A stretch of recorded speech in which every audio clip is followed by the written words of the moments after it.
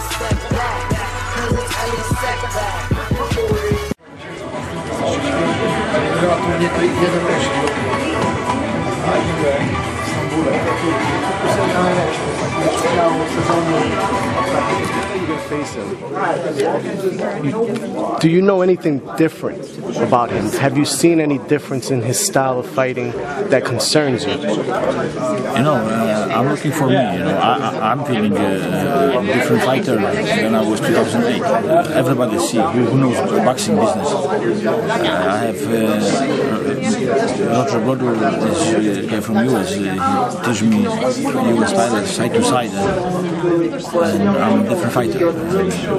It's difficult to hit me, and I don't stand cross face to face with opponent, and uh, no fight like 2008. Uh, everybody see, but uh, I wish him and me good fights and uh, interesting fight for, for my fans.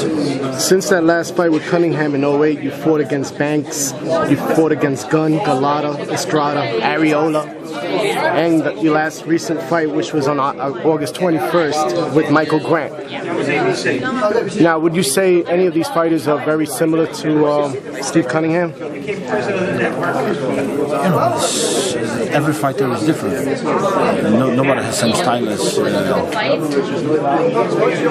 but uh, we prepare, we prepare very hard to, to the fight, and my mind is my mind is very very strong. Uh, everybody saw last fight when, when uh, dropped me uh, my opponent, but I'm still same same round and drop him too.